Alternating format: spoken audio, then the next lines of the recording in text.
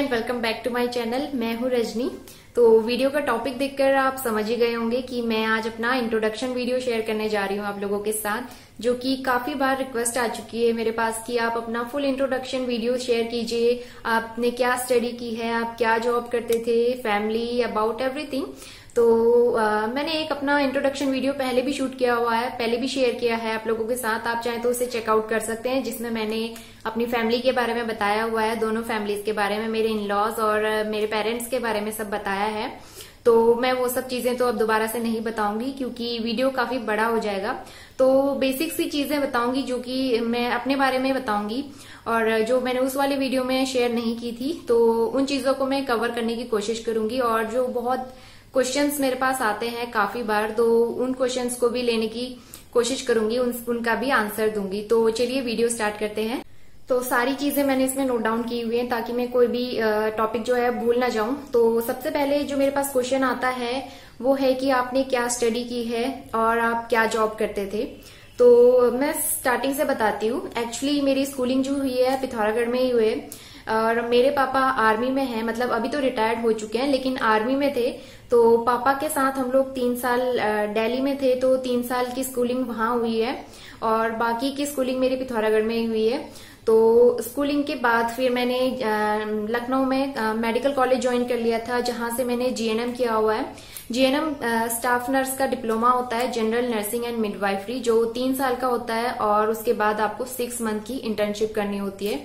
तो basically I am from medical profession तो मुझे बहुत पसंद है। मैं पहले से ही बायो स्ट्रीम ली, थी मैंने इंटर में तो बायो स्ट्रीम लेने के बाद मुझे काफ़ी मतलब मेडिकल प्रोफेशन में बहुत इंटरेस्ट था तो बाद में मैंने यही ज्वाइन किया। और मेडिकल प्रोफेशन ज्वाइन करने के बाद मैंने तीन साल साढ़े तीन साल, साढ़े तीन साल लखनऊ में वहाँ से मैंने जेएनएम किया है मेडिकल कॉलेज से। और उसके बाद वहाँ पे हमारा बॉन्ड था एक्चुअली कि आपको इंटर्नशिप कंप्लीट करने के बाद यहाँ पे डेढ़ साल आपको जॉब करनी पड़ेगी। तो इंटर्नशिप कंप्लीट हो चुकी थी तो उसके बाद मैंने सिक्स मंथ जॉब किए आई थिंक वहाँ पे, और उसके बाद मैंने अपना बॉन्ड क्लियर करवा लिया था, उनको पैसे देके अपना बॉन्ड मैंने क्लियर करा लिया था। तो उसके बाद फिर मैं आ गई थी पिथौरागढ़ वापस और उसके बाद शादी वगैरह हो गई थी तो उसके बाद मैंने जॉब दोबारा करी है। शादी के बाद भी जॉब कंटिन्यू की थी। तो इस मामले में मैं बहुत लकी हूँ कि मेरे इन लॉज ने मुझे जॉब करने के लिए बिल्कुल भी मना नहीं किया। शादी के इवन शादी के दो महीने बाद ही उन्होंने मुझे बोल दिया बोल दिया था कि तुम जॉब ज्वाइन कर सकती हो। तो शादी के दो महीने बाद मैंने जॉब स्टार्ट कर दी थी दोबारा से।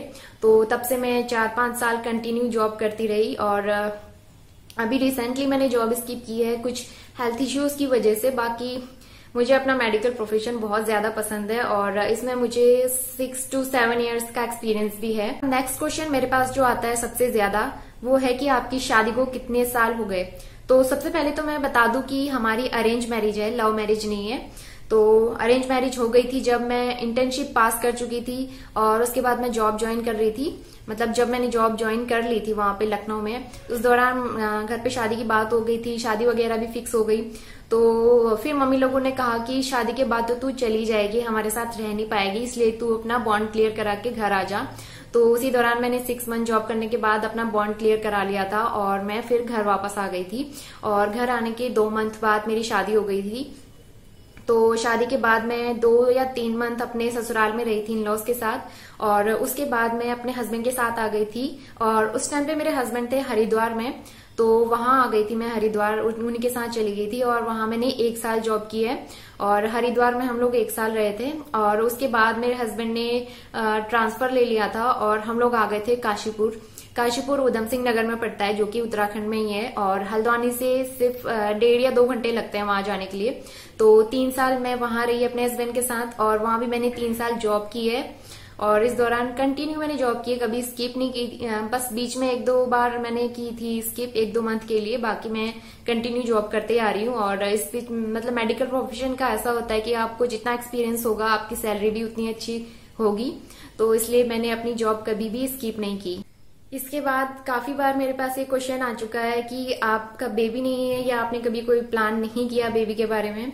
तो मतलब हाँ, शादी के इतने साल हो गए तो जिसके दिमाग में क्वेश्चन नहीं आया है तो उसके दिमाग में भी आ जाएगा ऑटोमेटिकली तो इसके बारे में मैं बता दूँ कि पहले तो हम लोग काफ़ी मतलब बिज़ी थे अपनी लाइफ में, बहुत ज़्यादा मेरी नाइट शिफ्ट डे शिफ्ट और मैं अपनी जॉब में इतना बिज़ी थी और हस्बैंड भी इतना बिज़ी थे और मुझे एक्सपीरियंस की बहुत ज़रूरत थी जॉब में, क्योंकि अपना मेडिकल प्रोफेशन में जितना आप काम करोगे, जितना एक्सपीरियंस लोगे, उतना आपके लिए अच्छा होगा इन फ्यूचर तो हम ना सिर्फ़ अपना जॉब पे ही कॉन्सेंट्रेट कर रहे थे उस टाइम पे। तो और इस बीच में लास्ट 2018 दिसंबर में तो उस टाइम मैंने कंसीव किया था, लेकिन वो सिर्फ़ दो महीने रुका। और दो महीने के बाद वो मिसकैरेज हो गया, क्योंकि बीटा एचसीजी लेवल जो है वो बढ़ नहीं पाया ग्रो नहीं हो पाया सो दैट्स वाई वो प्रेगनेंसी खुद ही टर्मिनेट हो गई। और उसके बाद से मैंने जॉब भी स्किप कर दी थी, क्योंकि बॉडी काफ़ी वीक हो गई थी। आप समझ ही सकते हैं कि फिर इसी इसके साथ जॉब वगैरह करना थोड़ा सा मुश्किल हो जाता है। तो तब से मैंने जॉब अभी तक की नहीं है, लेकिन मेरा आगे मन है कि मैं जॉब करूँ। और रही बात बेबी की तो इसके बारे में अभी मैं बिल्कुल भी नहीं सोचना चाहती हूँ, क्योंकि मेरे कुछ हेल्थ इश्यूज़ भी हैं actually I am anaemic patient क्योंकि हीमोग्लोबिन का लेवल मेरा काफ़ी कम रहता है। दो तीन सालों से छह छह नहीं, सात, आठ, नौ, ऐसी इसी के बीच रहता है। इससे ज़्यादा बढ़ता नहीं है।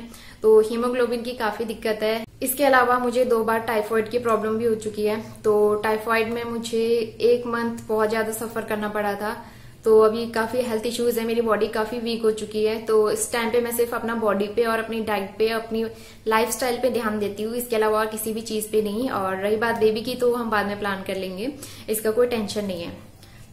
और इसके अलावा मैं आप लोगों से एक और बात कहना चाहूँगी कि जब मैंने जॉब छोड़ दी थी तो उसके बाद मैं काफ़ी बोर हो जाती थी घर पे रह रह के। मतलब हस्बैंड को तो टाइम होता नहीं था, वो सुबह जाते हैं और रात रात को ही आते हैं, आठ, नौ बजे तक। तो मैं घर पे अकेले रहती थी और उतने ज़्यादा फ्रेंड सर्कल भी नहीं है मेरा।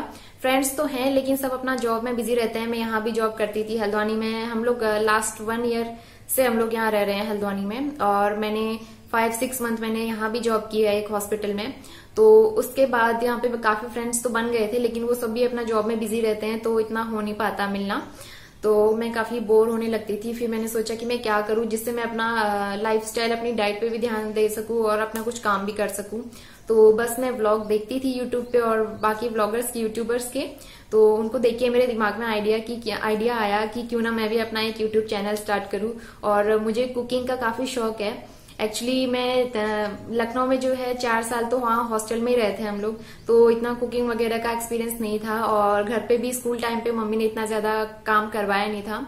तो जो कुछ भी मैंने सीखा है, वो सब मैंने डिप्लोमा के बाद सीखा है। जब मैंने अपना कोर्स वगैरह सब कंप्लीट कर लिया था और मेरी शादी हो गई थी, उसके बाद ही मैंने कुकिंग वगैरह सीखी है। तो कई बार तो मेरे कितने सारे एक्सपेरिमेंट फेल हो गए और मेरे हस्बैंड मज़ाक भी बनाते थे कि जितने भी एक्सपेरिमेंट होते हैं, तुम्हें मेरे ऊपर करने होते हैं, मैं जो भी नई चीज़ बनाती थी तो उनको ही खिलाती थी ऑब्वियसली तो कभी बेकार हो जाता था, कभी अच्छा बन जाता था। तो इसी तरीके से करते करते मैंने कुकिंग सीख ली। तो मैंने सोचा कि क्यों ना अपना यूट्यूब चैनल बनाऊँ, अपना, अपनी कुछ रेसिपीज़ शेयर करूँ, अपने पहाड़ी कल्चर के बारे में आपको बताऊँ सब लोगों को।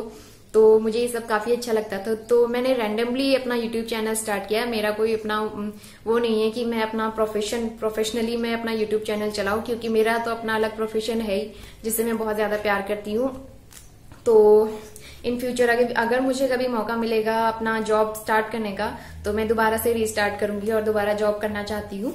इसके अलावा नेक्स्ट क्वेश्चन आता है कि आपके हस्बैंड क्या जॉब करते हैं? एक्चुअली मेरे हस्बैंड ने बी कॉम किया है और आफ्टर दैट उन्होंने एमबीए किया हुआ है। तो अभी वो फ़िलहाल ज्वेलरी सेक्टर में ही है। मतलब कि जब से उन्होंने एमबीए किया है एमबीए के बाद से वो ज्वेलरी सेक्टर में ही काम कर रहे हैं। और आठ दस साल हो गए उनको इस सेक्टर में जॉब करते हुए और बाकी सारी चीज़ें डिटेल्स में तो मैं रिवील नहीं कर सकती हूँ यहाँ पे। लेकिन मैं इतना बता सकती हूँ कि वो मतलब ज्वेलरी सेक्टर में है और जिस वजह से उन्हें थोड़ा सा टाइम देना पड़ता है।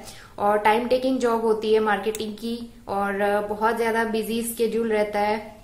और अभी सीज़न टाइम आने वाला है, नवरात्रि, दिवाली, धनतेरस तो इस टाइम में वो बहुत ही ज़्यादा बिज़ी हो जाते हैं। सबसे ज़्यादा वर्कलोड इसी टाइम पे हो जाता है। तो इसलिए वो आजकल आपको मेरे ब्लॉग्स में दिख भी नहीं रहे होंगे। इसके अलावा एक क्वेश्चन जो बहुत बार पूछा जा चुका है, बहुत बार, कि आप लोग हल्द्वानी में किस जगह पे रहते हैं? तो मतलब बताने को तो मैं बता दूँ, लेकिन बाद में थोड़ी सी दिक्कत हो सकती है। तो इस वजह से थोड़ा सेफ़ साइड लेके चलना सही रहता है। और आप लोग भी समझ सकते हैं कि अपना मतलब प्रॉपर एड्रेस प्रॉपर लोकेशन मैं अपना सोशल मीडिया पे नहीं डाल सकती हूँ। तो आई होप कि आप समझ सकते हैं। बस इतना है कि हल्द्वानी में रहता है और नैनीताल रोड की साइड ही रहता है। बस इसके अलावा और मैं ज़्यादा कुछ रिवील नहीं कर सकती हूँ। और I am sorry for that मतलब आप समझने की कोशिश करना। तो ये तो था मेरा छोटा सा इंट्रोडक्शन वीडियो आई होप कि आप लोगों को पसंद आया होगा और मैंने सारे टॉपिक कवर करने की कोशिश की है। और जो भी बेसिक चीज़ें होती है, वो सारी मैंने आपको बताई दी है। ये थोड़ी बहुत अपने, इस वीडियो में और थोड़ी बहुत मैंने पिछले वाले वीडियो में जिसमें मैंने अपनी फैमिली का इंट्रोडक्शन दिया है तो उसका लिंक जो है मैं डिस्क्रिप्शन बॉक्स में दे दूँगी, आप चाहें तो देख सकते हैं, अगर आप लोगों ने अभी तक देखा नहीं है। तो आप लोगों को कैसा लगा मेरा इंट्रोडक्शन वीडियो कमेंट करके बताना और कोई क्वेश्चन हो तो आप पूछ सकते हैं। मैं मिलूँगी आपसे विद न्यू ब्लॉग तब तक के लिए बाय एंड टेक केयर